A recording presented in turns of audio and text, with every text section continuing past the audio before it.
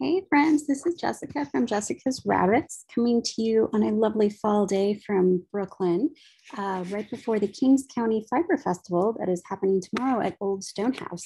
So I just wanted to go through a bit about what Jessica's Rabbit is and what we do and the best part, uh, the buns.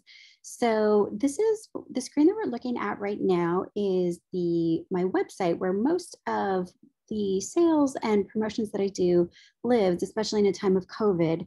Uh, Jessica's Rabbits was, while I've had rabbits for about six years, I didn't launch this, my little business until last year during Corona. Uh, it was a great lockdown activity to have um, a lot of buns and yarns to take pictures of and build this little e-com site.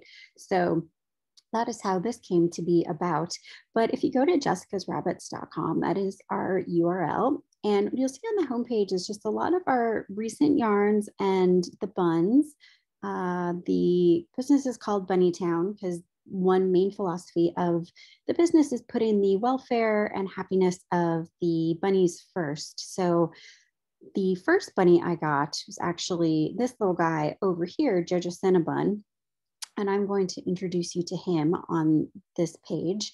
So I'll talk a bit more about the website navigation in a little bit, but just you know to get an overview of, of who we are. This is Mr. Jojo Cinnabon. He and I met at Rhinebeck Sheep and Wool Festival six years ago this month, and I wasn't really planning on getting a bunny or starting a yarn business necessarily. I had just gotten into spinning actually I just gotten into knitting. I, I came to the fiber arts later in in life from you know people who started as children. I was maybe 29 or 30 when I started knitting when my little nephew was born and I wanted to make him a blanket and knitting quickly turned into wanting to know how to spin yarn and then wanting to spin yarn quickly turned into wanting to have my own fiber animals but living in new york city it was pretty limited in what kind of you know, little furry friends I could get.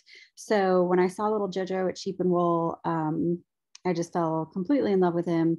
And I live in a in an old Victorian house in Brooklyn, so I'm very lucky to have space and uh, you know an outbuilding in the yard and a yard that I converted into Bunny Town.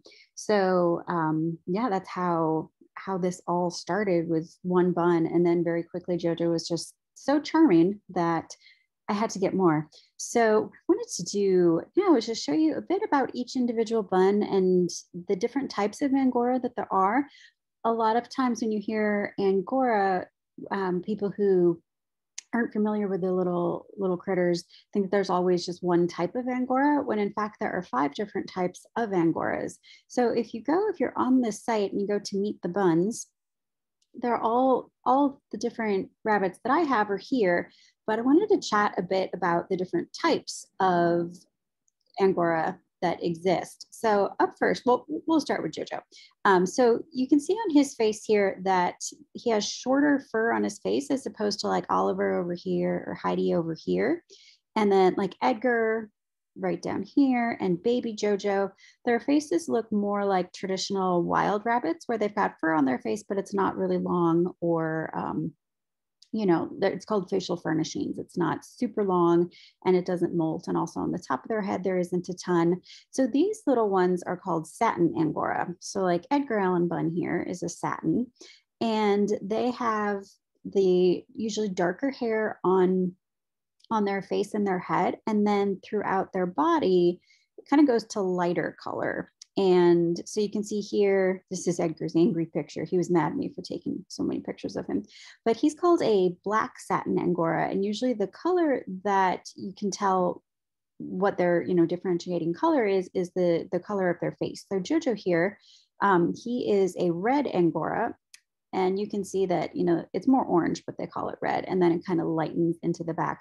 And so the qualities of this fiber, of the satin, is as you can expect, uh, really satiny, um, shiny finish almost. So this is another one of my satins. This is Mr. Maxwell. And their coat, I mean, it's all very, very soft. Satin Angora has a very fine texture to it. And it almost has a silk quality in terms of like slipperiness and sheen. And um, it's just overall, it combines like a super soft Angora with the shine of like a, a soft silk almost. And so what I do with satin a lot is I'll mix it with other other types of silk. I usually do all vegan fibers, so it'll be um, like a I'm doing air quotes uh, with with my hands right now.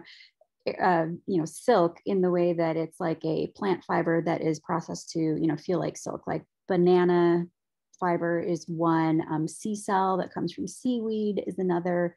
Rosebush fiber, so they all have this like silky, soft shine to it uh, without without any animals being hurt. Uh, so going back to the Meet the Buns page, the other type of, or one of the other types of Angora are these little English bunnies. So whenever you see like famous rabbits on Instagram, famous Angoras, a lot of times it's these English friends. They have, they're like the quintessential, like super floofy face and ears.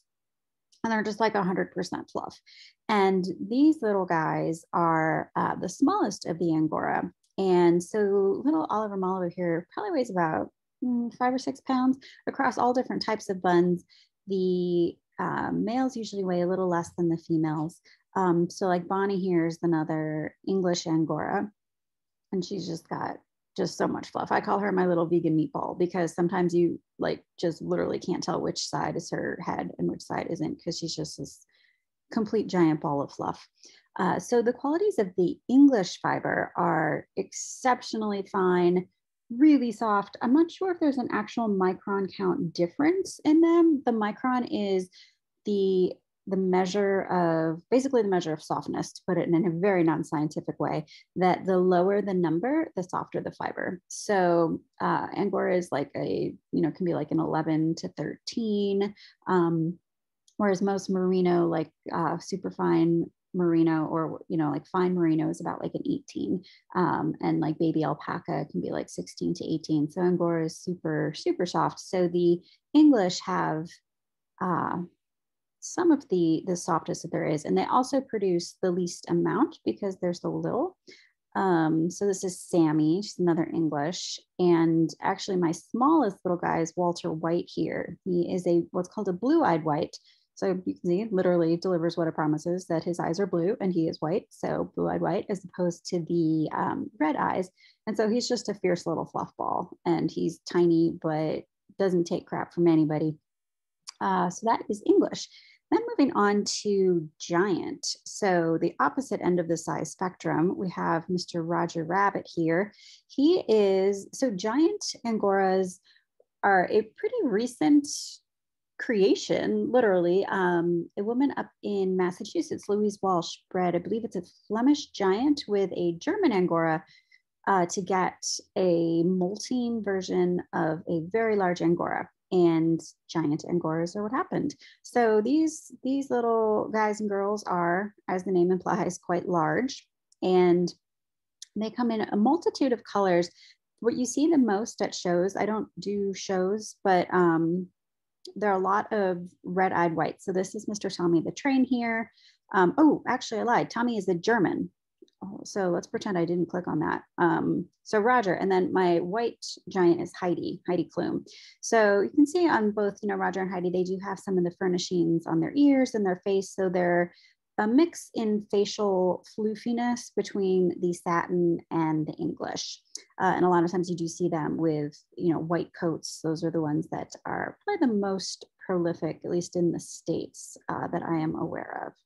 And so since I gave you a sneak peek of Mr. Tommy the Train, let's go over here. So this is little Tommy and he is a German Angora. So looks very similar to Heidi in terms of size and coloring. Uh, German, the big differentiating factor with German Angoras as opposed to um, as opposed to other Angoras are that uh, they don't molt. And so they, um, you have to shear them. So all of the other types of angoras, they grow multiple lengths of fiber and multiple coats of fiber at the same time.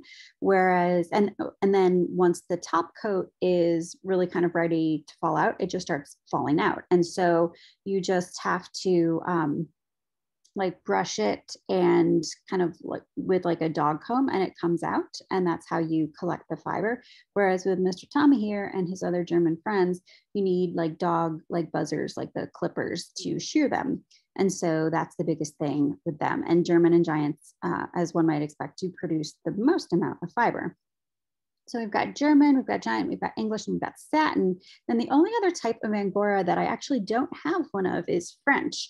And I had one French little Frankie the Bun many years ago. He didn't, um, he got suddenly very ill and passed away. He was a super sweet little dude. But French, they look the most like satin Angoras here uh, in terms of their size and their face and their fiber. But the biggest difference between French and the others is that they have their fiber is more guard hair. So guard hair is like like within you know, sheep or other types of um, fiber animals that it's the longer hair that doesn't have any crimp to it. And it gives Angora that really traditional halo look of, you know, the, the super fuzzy, super soft, um, kind of like flyaway type look. And so that is what French is most known for. So those are the different types of buns. And then on this page with within each of their little pages, you can see um, certain with the emphasis, putting the emphasis on the animals and their happiness, one thing that I really hope to portray with um, this site and my business is that each little critter has such a distinctive personality, and that um, while you know rabbits or other fiber animals can be you know seen as agricultural, each little critter does have just a super strong little you know personality and what they like to do, what maybe they aren't so much a fan of, um, and they definitely let you let you know it. They don't vocalize uh, really ever. They do thump. Thumper and Bambi is is a real thing. Um, the only vocalizations that rabbits make is if they're really really terrified. They will scream, like literally scream, like ah, and it's terrifying. I've heard that once when one of my bunnies thought that a plastic bag was a predator and that it came to eat him, but he was fine and he, he recovered well. Um, but uh, other than that, they will occasionally make little like, mm, like chattering sounds. And if they're really happy, they'll grind their teeth together like a cat purring. So little Jojo does that all the time. Whenever I give him a hug, his little teeth chatter. And so it sounds like if you're really cold and your, you know, teeth are chattering, that's what it sounds like with them. Um, oh no, whoops. And so then for uh, another element that I wanted to chat about in terms of the, you know, Rabbits First and animal welfare is our Cute for a Cause initiative. So this is, this was founded by Oliver Molliver, who's this little guy in the center here. And so Cute for a Cause is basically our giving back program that all of these little furry friends here are animals that um, I've either fostered or adopted from Sean Casey Animal Rescue that uh, people in Brooklyn, I'm sure that name sounds familiar. For those uh, outside of the Big Apple, Sean Casey is uh, a really amazing guy who has a shelter and they take in all kinds of animals, um, obviously dogs, cats, guinea pigs, gerbils, hamsters, snakes, turtles. I mean, you name it, they'll take it. And they're a completely no kill shelter and have um, their headquarters or, you know, their main shelter is in um, Kensington, Brooklyn, which is about like a five ten minute drive for me. And so these are little friends that over the years I've um, had in my life. This is Pebbles and one of her babies. They were a foster. This little superwoman over here is Joy, who's currently sleeping on my lap. She is a foster fail. This is Benjamin Button, who's a guinea pig I adopted. So all that to say that a portion of all uh, yarn sales are donated to Sean and his crew to care for the animals, either in a direct donation or in um, they go it goes goes towards caring for the animals that I foster uh, from them that later go on to be adopted by by loving homes. So that's a really you know important part that it kind of comes full circle that the animals, um, you know, the bunnies they don't need their fluff anymore once it falls out, but then they're you know helping their little um, their little bunny friends with or you know just animal friends in general with uh, with being good little citizens. Uh, so then on to the yarn. So Angora, uh, so if you're on the website, there are a number of ways that you can get to the yarn, um, different types of yarn offerings on the site. And there are a lot of different collections uh, that I focus on. As you can see from the homepage, I'm going through a real pink Technicolor phase in 2021. I originally was really into natural colors of, you know, like down here and really not doing any dye. But then um, this yarn here is called Bunnicorn is one that I made on accident. Um, and then it turned out to be one of our bestsellers. So I just really kind of dove into the acid dye. But before we get into that, I'm just going to talk about um, the different elements of like Angora fiber and how to prep it and how to spin it, how to dye it and all of these things. So what you can see here in the, that's not the page I want to, let's go over here. Uh, da, da, da, here we go. Okay, so this is, this photo right here is uh, Angora fiber that is clearly, clearly dyed and carded. So you can spin Angora straight from the bunny if the bunny is molting. Um, when I tried to do that, I got pooped on a lot. So I don't do that anymore. But you can, um, or you can collect it and just spin it straight from, it's called from the cloud, that you don't comb it, you don't card it, you don't dye it, you just spin it straight. But what I prefer to do most is to dye it what's called in the wool. So you dye it when it is just wool and not um, not processed and then you can card it together in into all these fun colors and so there you really get a big overview of the you know it's more control in the color than i find dyeing it once it's spun because you can get those you know colors that shouldn't mix that turn into like brown you know really close together when you card it and dye it in the wool. And so then it's just you can get a lot more of that like variation of like here where it's all mixed together where like doing that um, once it's already spun would would be excuse me would be a big challenge. But um, doing it in the wool is is much much easier. And so once it's you know dyed and carded then you can you know spin it directly there. A lot of times i will also blend it with other fibers in the drum carder so this is a new yarn of ours called bundala like mandala. And this is a mix of Angora, of course, and recycled sari silk. And so, and then there's a an auto wrap silk thread. Um, and so this type is super fun. Yeah, in this picture, you can see all the like subtle color variations that come up when you card it prior to spinning it. Um, and this, so silk, this is actually real silk. It's, um, but I'm using it because it's so recycled sari silk is from saris, as one, one might guess, from India that's left over from the manufacturing and um, sewing of sari. And so it's just waste of the textile industry that you can get in roving form and mix together. Uh, this is another one of the yarns that is carded prior to spinning. This is called Bunleave in Miracles.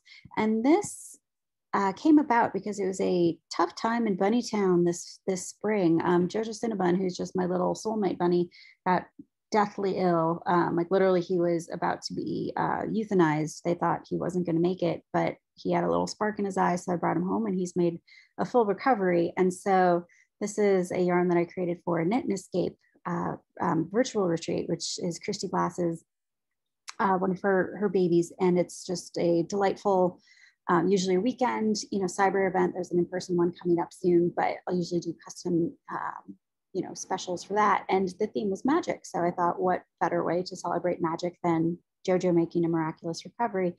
But what you can see here is that it's all, again, that like subtle color variation that comes from carding it prior to spinning it. And in this one, I discovered, it's hard to see in the pictures, but there's a little bit of sparkle, which is a synthetic fiber. It's like a plastic um, uh, it's called Angelina in some places and some other sites it's just called Sparkle, but it adds a little bit of shine to it. And this is also from a merino sheep named Ratty who lives in Australia. I do blend, if I blend with other animal fibers, the uh, main the main point that I look uh, look to in the shop is to see how the animals um, are treated and if they're you know well cared for and so i'll you know and also small other small businesses women owned farms or micro farms like what i like to call my little Ditmas park um, adventure is really important to me so you know people who might not have um, you know huge quantities of, of animals but you know care for each one like a little furry child. Uh, so yeah, this is a super fine merino. And when I say super fine, I mean like like micron of three super fine. So it's like a spongy, squishy, super, super fine yarn. Uh, then another way of spinning Angora. This is an example of a yarn I did for Indie Untangled in the spring. Sorry for the background noise. My dog is one, actually this is Cinnamon, one of my foster dogs from Sean Casey right now is she's having a special moment. Um, but it's called Merbun Parade. And this was for a pre-summer spin where uh, in New York, the uh, mermaid parade is is a big thing. I think it's been canceled the past two years because of because of COVID, but uh, I wanted, so this is a merino bun, um, bunny mix. And so I thought mermaid, mer bun parade. Uh, um, the bun puns are just, they, they, I can't stop doing them. I just, I can't stop. I, people tell me to, but I can't. Um, so this is one where I spun it and then dyed it. And you can see here that, you know, the, it's more like solid colors with little speckles of color. And so this is another way of, um, if you just have you know, want to just spin up a bunch of white and then dye it afterwards, that you can do that the more traditional indie dyer way where you, you know, have spun yarn and then dye it directly onto there. I do this a little less frequently too, because although I do have a lot of outdoor space, my New York kitchen is a New York kitchen. And so sometimes it's either a decision between uh, cooking dinner or dyeing yarn and yarn always wins. And then takeout is my best friend. Uh, so that's why I do this, this method a little bit less. Uh, and then let's see another one that is dyed. So this is another yarn called Bunfetti that is spun and then dyed. And so here too, you can see that there's more blocks of color and little speckles of color than the color really interwoven within the same like half inch of yarn. And so this was a fun adventure getting on the uh, speckle dyeing train that is just ever so popular nowadays, which is great. Um, let me show you also a natural one. So this is uh, a spin. This is called JoJo is a Badass. And this is going back to another tribute to Mr. JoJo for beating kidney failure and three UTIs and skin infection. And, you know, he did it all. So this is one that is a completely natural colored yarn. There is a, if you look really closely, there's a rose gold ply on it. And that is, um, just to add a little bit of extra extra sparkle. And so there's also some uh, plant silk fiber in here that is this like golden hue that matches really well with Mr. Cinnabon's natural natural beauty that he's born with. Um, do, do, do. Oh, yes. And so speaking of other fibers, uh, I'm going to show you guys a few that are fibers that I've mixed with some unusual, or Angora that I've mixed with some unusual fibers. So this is called banana, and this is getting back to that recycled um, or the plant silk concept. This is from actual banana trees, that it's the bark of banana trees and it's waste. And they um, process it kind of like how linen is and, you know, um, get out each, like there's, it's kind of like in a thread form. And so with that, I'll blend it with a drum carder or by hand with Angora and then use animal dye, um, heat reactive, uh, protein reactive dye on both the animal and the plant fiber to get this kind of mix where some of the banana fiber turns color, but a lot of it retains that like kind of silky white, which is really fun because um, it's just, you know, an interesting way to play with dye because you can see, you can really experiment with how much of the plant fiber is going to take up the dye versus the, the animal. So that's really fun one. And then this line um, called Alice in Bunderland. This is one of the craziest um, kind of collaborative yarns that I've done where this has basically any fiber animal that there is, it's in this yarn. So there's, of course, Angora, there's superfine merino from my sheep friend in Australia. There's mohair, which is from Angora goats, which is what creates these little like flyaways. Um, that's called uh, tail spinning and core spinning. So it's a different mixture depending on the length of the lock, but all of these ones, um, so it just creates this super funky, you know, kind of art yarn twist that um, I find really fun. I see this used a lot in um, weaving. So it creates like the table looms or sorry, nope, not table, but yeah, table looms or the lap looms. This just makes a really, really fun like art yarn scarf. And there's one other kind of spinning technique to talk about. So you can see I do a lot of the spiral plying because that's where you take a single thread of yarn and you ply it with um, a super skinny thread. And so a lot of times I'll use like cotton thread, a silk thread, and it creates this like kind of funky, twisty texture, which I really, really like um, because it's a way to keep, not make it super bulky, but it adds a little bit of air in between. So it gives space in each stitch for the Angora to really blossom and halo as you wear it and work with it. And then it also just, you know, adds some extra three dimensionality. That's a tough word. Uh, it does that though. So this one, this Bun Birthday Tea Party, this is um, one of the most kind of like time consuming spins, but it creates this really cool, this is called a super coil. And so you can see it's almost like these little like worms, which is an unpleasant image to think of in yarn. Forget I said that. It's like, I don't know, little branches but you can see that there are individual little like uh, like divisions in between the yarn. And so that you take kind of what I do with all the other yarns, and then there's an added step of plying it onto a silk or not a silk, like a cotton thread, some kind of a core. And then you just like keep pushing it up as you spin. So it makes these like hive type structures, which is, which is super fun. And so that one, this is a very heavy yarn, like literally heavy. It's like five ounces, or I'm sorry, no. So this one is 20 yards, 2.4 ounces. Yeah. So 40 yards, it's like five ounces. So it is a very hefty yarn. It's great for like accents, um, hat brims. And so that actually leads into another question that I get asked a lot of like, what kind of patterns do you suggest for your yarns? And so Angora is with it being a luxury fiber, both for the softness, the warmth, and the price, it uh, definitely something where a little bit can go a long way. You can do, of course, you know, an entire sweater out of Angora. Um, it has definitely been done before, but it doesn't retain its shape uh, quite as well as some of like the springier merinos. Um, and so what I recommend a lot is accessory projects for Angora. So any of these, uh, any of these yarns work delightfully as a hat, as gloves, fingerless mitts, scarves, uh, I do sometimes in, mix them together in like a poncho or ruana type situation with uh, superfine alpaca um, and really keeping the Angora near where it's going to be next to your skin to keep it really soft.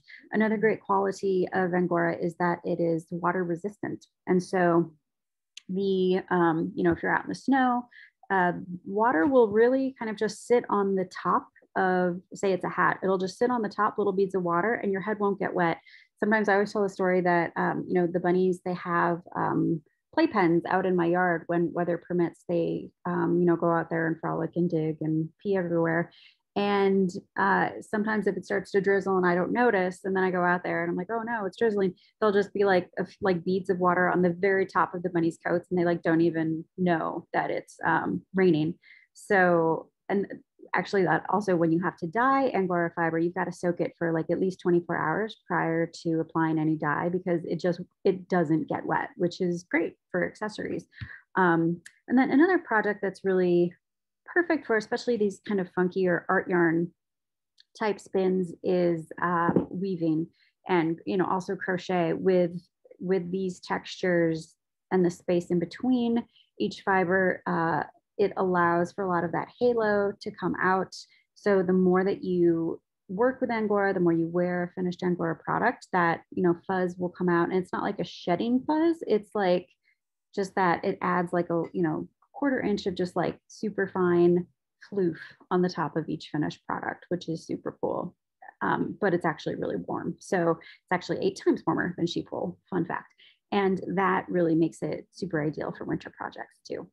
Um, so those are all of the big overviews that I wanted to share with you. Um, I hope that guys all come to the Kings County Fiber Fest. If you are seeing this afterwards, come back next year. It is uh, been, this is the 10th year it's happening and it's just a fabulous you know, event for folks in the city to gather and celebrate all things fiber.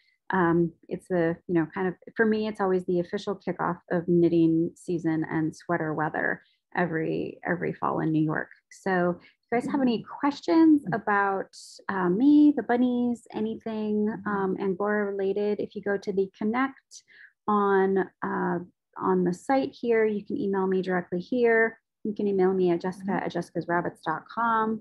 Uh, you can Instagram me. Um, I will say this fall, I've been failing hard on the social media presence. I'm a musician and a writer in my non yarn life, and that has um, been a really hectic fall. So mm-hmm. if you did email me and I haven't gotten back to you yet, I will do it soon, I promise.